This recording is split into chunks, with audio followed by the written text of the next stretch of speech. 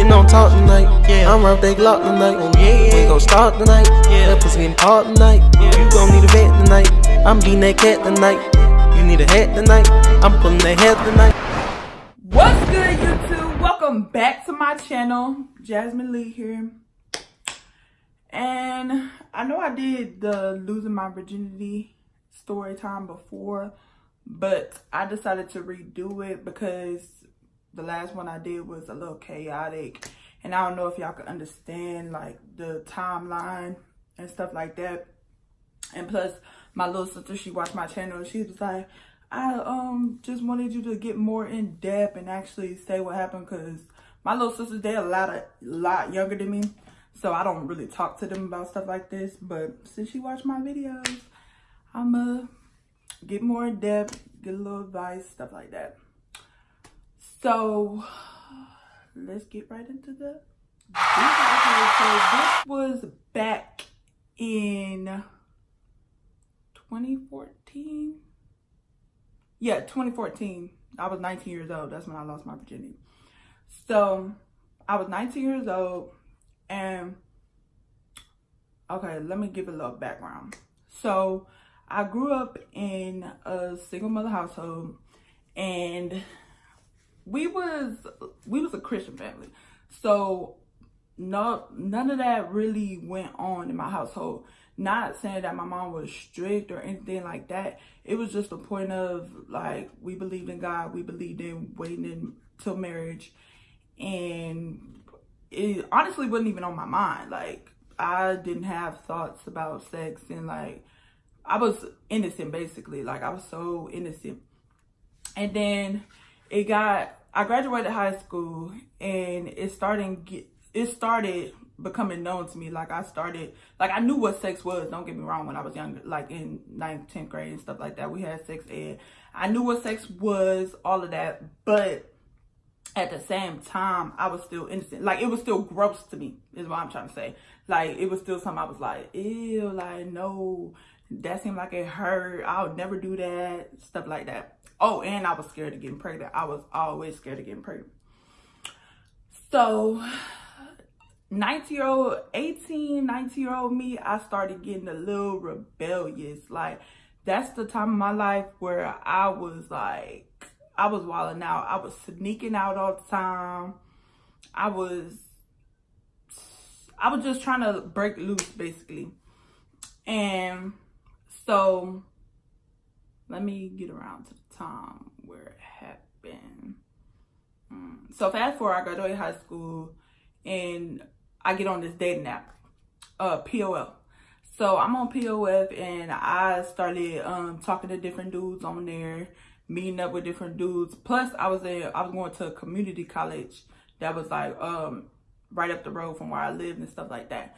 So I was starting to talk to different guys. Guys starting to notice me and stuff like that. So I was um really getting out there, like really trying to like grow up. So my mom still she wasn't having it. She was not letting me go out and stuff like that. So um there was this other girl in the um church. She was older than me let's just call her um Bertha. I don't know why that came to my mind, but yeah. So there was this other girl at the church named Bertha. And she was older than me and she had a. Well, she didn't have a car, but she used to sneak out all the time and take her mom's car. So she would come and get me and we would sneak out the house. It's not funny, but it's like, dang, like I was crazy. So we would sneak out the house and stuff like that. And that's, I feel like that's where like it started happening. Like once I got away with it, like kept sneaking out, kept sneaking out. I, um, I just thought I was a rebel. I was like, yeah, I'm untouchable. Like I can do anything with my life and stuff like that. And then so at this time, I think my mama still thought like I was still, nah, my mama knew. I think she didn't know like in depth, but I think my mom knew like, oh yeah, she's starting to like do stuff. She's starting to branch out, stuff like that. So fast forward, um, my um I put my best friend onto POF because my best friend and me, we was basically the same way. Like we both wasn't having sex during high school. We looked at other girls like, ew, you having sex in high school. Like that's how we was looking at them like, no. So um, me and my best friend was both the same way. So then my best friend, she had met, I put her on POF and she met this guy on POF. And they was talking for months and months and months. And mind you, this guy was a Marine. So she uh they talking, they getting to know each other, and I'm like, ooh, I'm like, ooh, put me on, put me on, stuff like that. Like put me on one of his friends. So then because she was um he lived the Marine base from where we live in San Diego, California, it was like I think it was 30 to 45 minutes away, something like that. So you had to um you had to have a car to get there and stuff like that. Or you could like take the trolley or something like that. So um she would take the trolley and stuff to go see him. So I was like, oh, I want to go, like tell him to put um put me on and stuff like that. But I knew my mom was gonna let me go. So um, I would just say I'm going with my best friend to like um, the fair and stuff like that. But we would be like going on base and stuff like that. So she put me on one of his friends and we gonna call him um, Chris. So she put me on to his friend Chris and me and Chris, we talking, we talking, and this boy, like, I would not say he was my first love. He wasn't like really, mm, he wasn't really, like, I liked him, don't get me wrong, but I wasn't in love with him and I wasn't, and I had love for him as like, oh, he cool like that, but I wasn't in love with him. But, um, I was liking that attention and that time that he was giving me all the time. So it came to the point we was talking every day, every day, every day, every day for months. So um it was just one night we was in particular that we were just talking we used to talk on Kik, So the messages could delete. If you remember Kik, they yeah. So we used to uh, talk on there so the messages could delete. So we talking one night and he was just like um, he was asking me if I ever had sex before and stuff like that. And I was telling him no. Um, and stuff like that. And he was like, well, if you ever want to, I want to be your first. I love you so much and stuff like that. And I was just like, okay, yeah, you're going to be my first whenever I'm ready and stuff like that. So, mind you, my best friend, the dude, his friend that she had been talking to, she had, I don't know if she lost it to, I can't remember if she lost but I know they had already been having sex. Like they had already been having sex. She had already been bragging to me, everything. So it would be uh in the Marine barracks, the um the rooms is like set up like it's the um bed twin bed on this side, twin bed on this side. So you could look across and see your roommate. So it would be nice we would be in there and they would be doing it and I would just be across like Chris would think something about to happen. No, sweetie I'm sorry. So we'll just be laying there and stuff like that. And uh yeah, just laying there and wait until they get done and then finish hanging out go home. So uh it was uh fast forward, fast forward, we had talked about that and it was just one in particular weekend. We was like, yeah, we're gonna spend a whole weekend together. We're gonna get a hotel and it's gonna happen this day. And we were just we talked about it, planned it out, and that was that. But I had to come up with an excuse like, oh yeah, like how am I gonna spend the whole weekend away? Like it was different, like sneaking away for the day and stuff like that, but sneaking away for the whole weekend, it was a whole different story. So I'm thinking, I'm thinking, I'm thinking around this time, the um uh the fair, the fair was um here. It was like a uh I forgot what it's called. But the fair was there. So I told, and the fair was far away. So I told my mama that um, me and my best friend was gonna go to the fair, and that um, her dad was uh, supposed to take us and stuff like that. Get ready. I didn't, I was trying to bring a change of clothes, but I ended up like, I had this big old makeup box. So I took the makeup box, stuffed all my clothes in the, like, talk about desperate. I stuffed all my clothes in the makeup box to make it seem like I was just taking the makeup. Like my mom was even, I don't know if she even remembered this, but my mom was even suspicious of why I was taking a makeup box. But I was like, oh, just in case, because around this time, this when I first started wearing makeup. So I was like, oh, uh, just in case I want to uh, touch up and stuff. But I stuffed my toothbrush, clothes, uh, change of clothes, and um, yeah, basically everything I needed. I stuffed it like balled it up real, real tight in this makeup box. And then so um, hours go by. I'm waiting for my um best friend, her dad, to um get us to drop us off at the trolley so we could go um meet up with them. So um we waited we waited and she was like oh my dad can't she called me and she was like oh my dad can't take us because he got to go to work and stuff like that. So all i should have known like i should have known once stuff started going wrong i was like i should have i should have left it alone i should have left it alone because in the back of my head i didn't even want to lose it like i was like why am i like doing it with this dude? I don't even like we only been talking for a couple months and like I was his girl, like he was calling me his girl, but I wasn't feeling it how he was feeling it. And I don't even know if he was feeling it. I think he was just and he was older. So he probably was just saying all that just to get in my drawers. So not probably, he was. So um fast forward, it gets to um it's hours and hours going by. So I was like, dang, like how we gonna get there? So at this time, my brother had a car. My brother is um a couple like 11 months older than me, but it, he had a car and I didn't.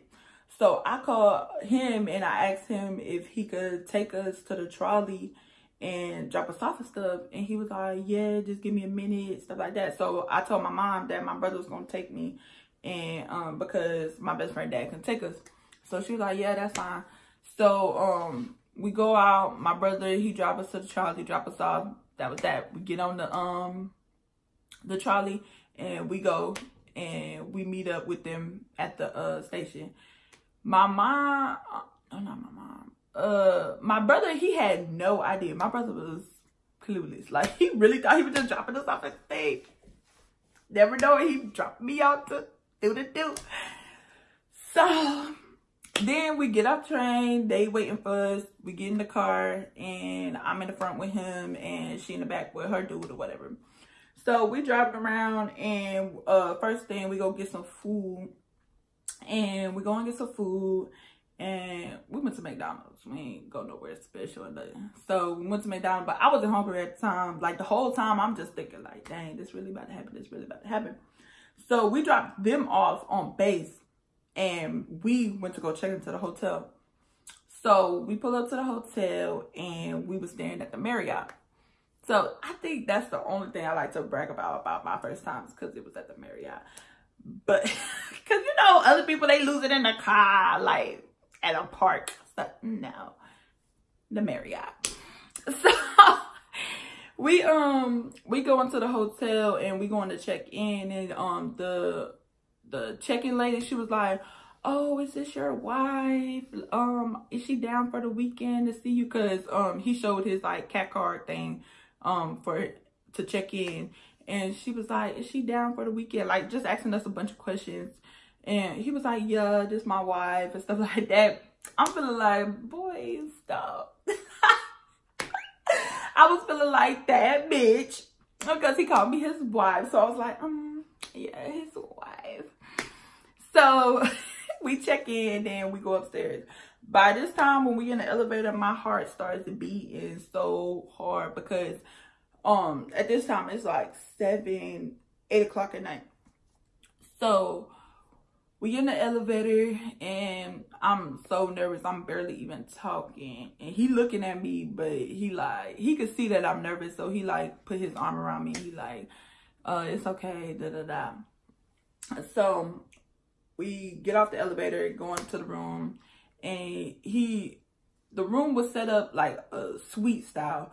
So as soon as you walk in, there was like a living room area, and then you walk further in, and that was the um king size bed. It had a flat screen in there, everything. It was real, real nice, real nice room. So um he sits at the couch and he's um eating like his food and stuff like that. He got like a chicken sandwich and some fries, stuff like that.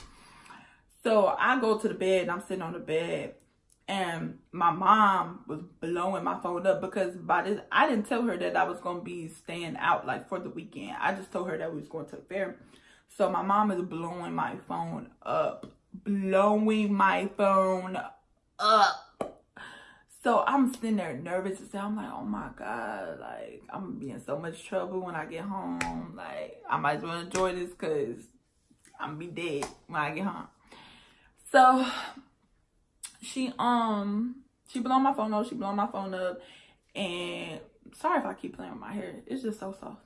But uh she blew my phone up and I turned my phone off because she was just doing too much. She started texting me, she was like, Where you at?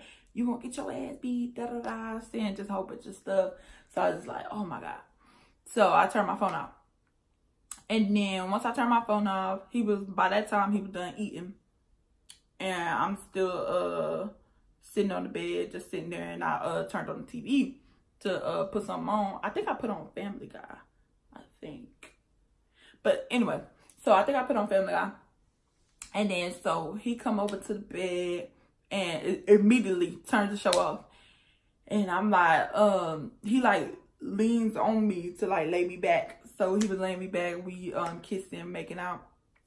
And um I'm just thinking in my head, oh my god, oh my god, oh my god. So we just making out for a long, long, long, long, long time. So it, it felt like a long time. I think it was like 30 minutes.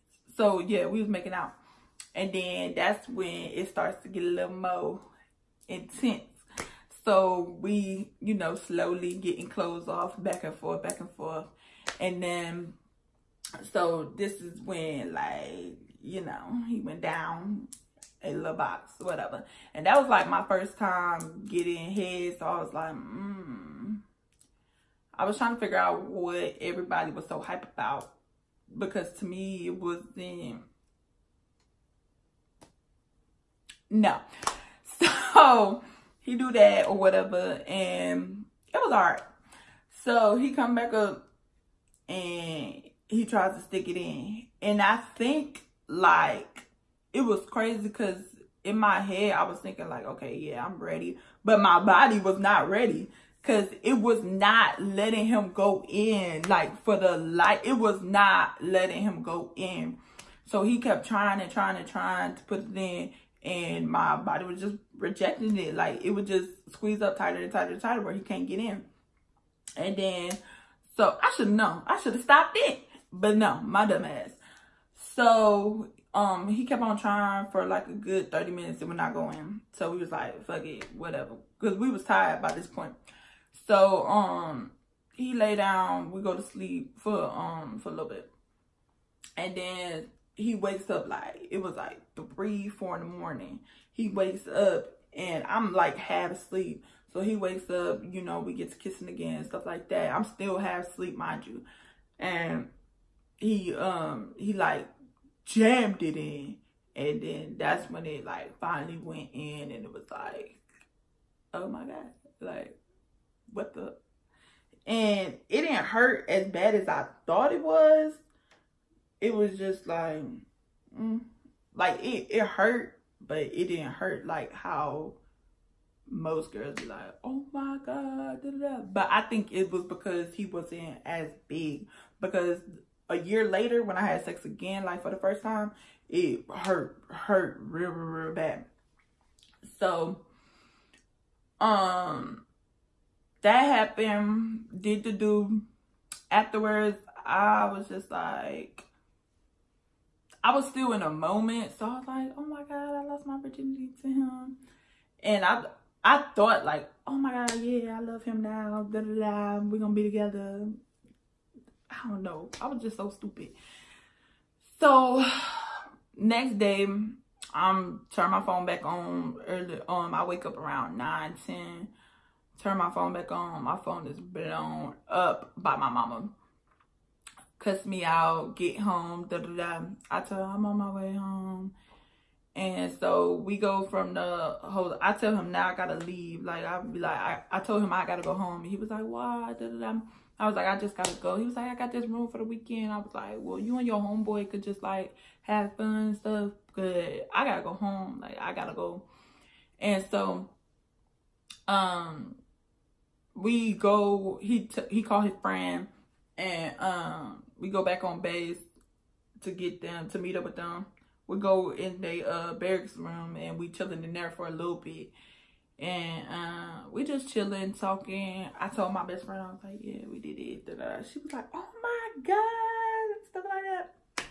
I was like, yeah, whatever. so I told her, and then I, after another hour or two, I make my way home. We both make our way home. and it was just like afterwards i just didn't feel the same. Like i hated the feeling that i had. Like i felt so ashamed. Like i was like i don't ew why did i do that? Like why did i lose it to him? I didn't even like like him like that.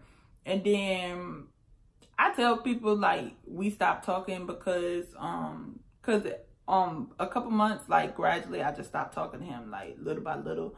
And I tell people it's because he deployed, but it wasn't because he deployed. It was because like I just I couldn't do it. Like no, he I knew he wasn't the one, and I just gave him something so precious. I was just I regretted it so bad, so I couldn't look at him, talk to him. I was like, I don't want nothing to do with him. So, um, that happened whatever. When I got home, I was in trouble. Period.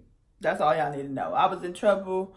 Um, I don't even think my mama would talk to me. So my stepdad was the one that was like, I don't know why you did that. Like talking to me and stuff because I don't think my mama would even talk to me because she was pregnant with my little brother at the time and she didn't need to be stressed out yelling at me and stuff like that. So I felt bad about that.